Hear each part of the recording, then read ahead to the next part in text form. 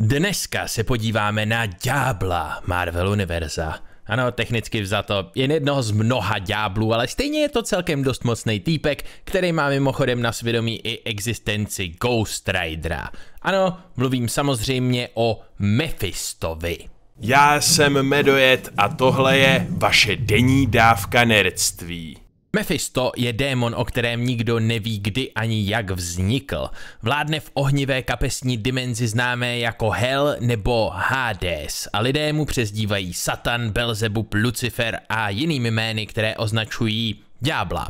Technicky vzato, Mephisto samozřejmě není křesťanský ďábel, ale peklo, které vede má k tomu tradičnímu nejblíž a Mephisto má zároveň hodně blízko ke klasickému satanovi, protože často nabízí lidem nejrůznější, řekněme výhodně vypadající obchody, které jim ale ve skutečnosti zničí život. První setkání s Mephistem, o kterém víme, se odehrálo už milion let před naším letopočtem. Mladý chlapec tehdy sám cestoval světem, protože jeho kmen byl vyhlazen Vendigem. Chlapec šel zamrzlou pustinou a pomalu ztratil všechny síly, až prostě upadl do sněhu a čekal, až zemře. Jenže pak se objevil obrovský bílý had a slíbil mu, že bude žít, že získá sílu, kterou potřebuje, aby se pomstil, ale hlavně teplo. Stačilo, když řekne jeho jméno a chlapec umírající zimou nakonec souhlasil. Řekl Mephisto a tak se stal prvním Ghost Riderem. Ano, Mephisto je ten, kdo dává Ghost Riderům jejich schopnosti a upřímně už na základě toho můžete odhadnout, on sám je docela solidně silný. Každopádně před eh, milionem let si užil víc srandy. Eh, objevil se znovu tentokrát v tajném městě jménem Kun Lan. Tam se pokusil přesvědčit Iron fistku Fan Fei, aby se přidala ke gorilímu klanu a stala se jejich královnou, ale byl odmítnut a následně tedy pomohl super gorilám Fan Fei porazit, k čemuž bylo samozřejmě potřeba jedno velice mocné Tum! a taky Power Stone. Ano, ten Power Stone z rukavice nekonečná. Milion let do minulosti se následně dostal i Tony Stark neboli Iron Man, který se s Mephistem také potkal a odmítl všechny jeho nabídky, což vedlo k tomu, že s ním musel bojovat. Naštěstí se mu nakonec povedlo vrátit se bez větších následků do přítomnosti. Lilith tvrdí, že Mephisto byl dokonce ten, kdo způsobil vyhnání Adama a Evy z ráje, což by teda technicky vzato znamenalo, že vlastně je křesťanský ďábel, nebo minimálně udělal tu tak nějak základní, nejznámější věc. Nicméně tenhle démon se zajímá i o jiné rasy než lidi. Speciálně Silver Surfer je někdo, koho chce fakt hodně získat na svou stranu. Nejdřív zkoušel sliby, ale když byl odmítnut, tak jednoduše unesl jeho první lásku Šalubal. Jenže surfař se dokáže pohybovat mezi dimenzemi, takže ho dokázal pronásledovat do pekla.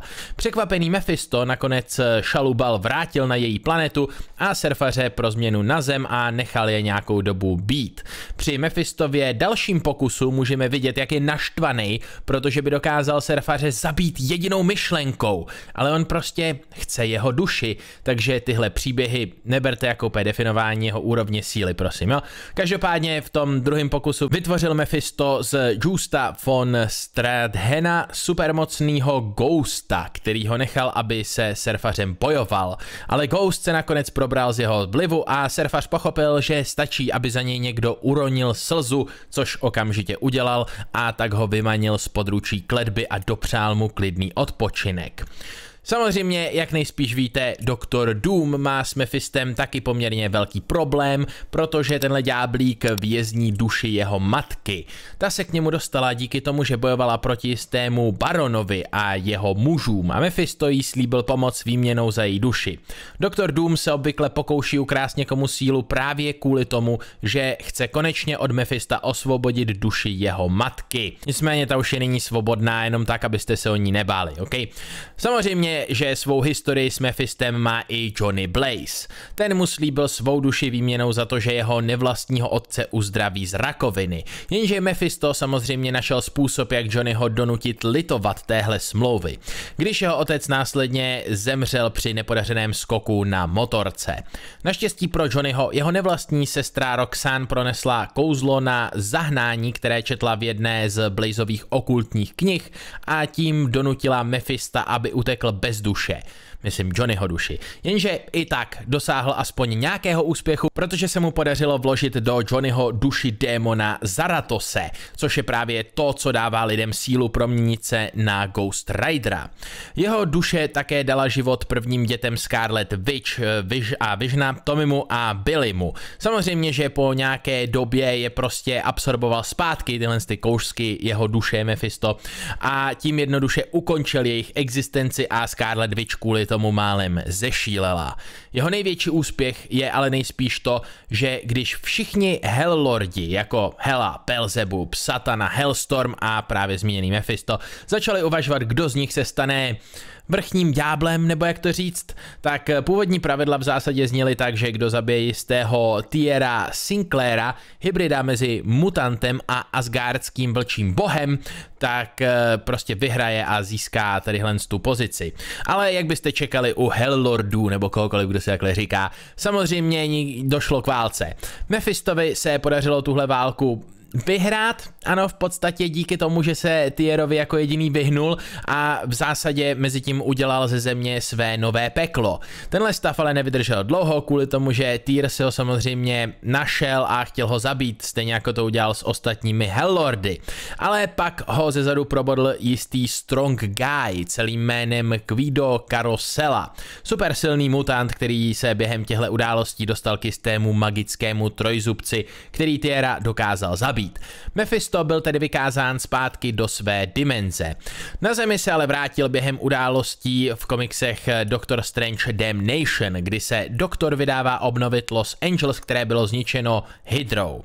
Jenže místo města andělů ho tam čeká peklo na Zemi, což se stalo v podstatě z části z podobného důvodu jako v předchozím příběhu. Nejrůznější pekelní lordi a další bytosti spolu vedli válku a Mephistovi se jí podařilo vyhrát. Během toho, co se Doktor Strange pokoušel vrátit vrátit Las Vegas jeho původní stav s pomocí magie, se mu omylem podařilo protrhnout jemné předivo dimenzí a bum prásk Mephisto se objevil v Las Vegas, kde vytvořil hotel Inferno. Ten postupně změnil všechny místní obyvatele tak, aby jednali na základě svých základních instinktů. Doktor se samozřejmě vydal ho konfrontovat, eh, Mephista, spolu s Captain Marvel, Thorem, Jane Foster a Hawkeyem, Falconem a Black Pantherem, ale Mephistovi se povedlo ho přesvědčit, aby si s ním zahrál Blackjack o svobodu města. A Steven začal podvádět a tak Mephisto jemu i ostatním hrdinům tak nějak sebral duše a donutil je, aby mu sloužili. Naštěstí Stevenův starý kámoš Wong dal dohromady záchranou skupinu složenou z Ghost Ridera, Moon Knighta, Bladea, Iron Fista, Scarlet Spidera, Menthinga a s Jericho Drumem a Elzy Bloodstone. Ghost Rider se ale nezachoval úplně jako týmový hráč, zautočil na Mephista a ten mu sebral duši Zaratose, která mu dává sílu, že a zabil ho. Jenže pak se ukázalo, že přesně tohle Johnny celou dobu plánoval. Jeho duše totiž putovala rovnou do pekla, tam zabrala Mephistům v trůn a stala se tak novým místním vládcem. Díky tomu se ostatním podařilo Mephista porazit, ale ten unikl zpátky do pekla. Jenže tam už ho čekal Johnny i s jeho novými poddanými, porazil ho a vrátil zpátky na zem, kde je zajatý a uvězněný se spoustou magických opatření ve vrchním patře hotelu Inferno. Nejspíš tam sedí dodnes, ale vzhledem k tomu, jak rozsáhlé jsou jeho schopnosti, si tím nikdo nemůže být jistý, protože jsme už párkrát viděli nějaký démony ho imitovat, takže je to zkrátka otázka, buď to byl on, možná to byly nějaký jiný démoni, nikdo dohromady neví. Pokud se tedy zeptáme, jak moc overpowered, tak eh, je potřeba zdůraznit, že je jinak silný ve své vlastní dimenzi a mimo ní. Mimo je samozřejmě slabší, ale stejně umí ohýbat realitu ke své vůli a spoustu dalších věcí. Má zkrátka ten nejmocnější skillset, který je v Marvel multiverzu dostupný. Když se ho Cyclops pokusil střelit svým laserovým zrakem, tak eh, se prostě zakryl jeho ženou a dětmi, které teleportoval před sebe, což je docela solidní power move, jestli to můžu říct, a teda taky dick move.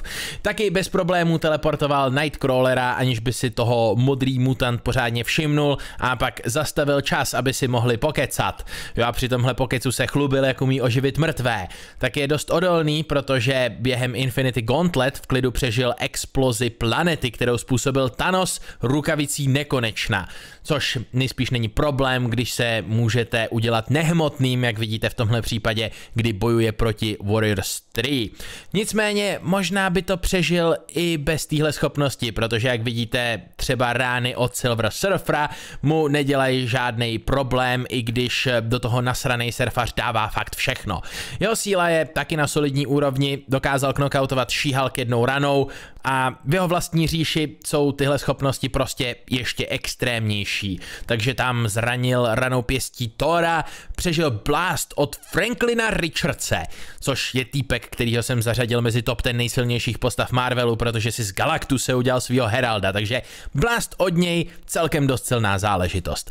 Hlavní důvod, proč nezabil polovinu lidí, se kterými kdy měl nějaký konflikt, je prostě to, že chtěl jejich duše, což vidíte tady přiznávat eh, například doktora Strange.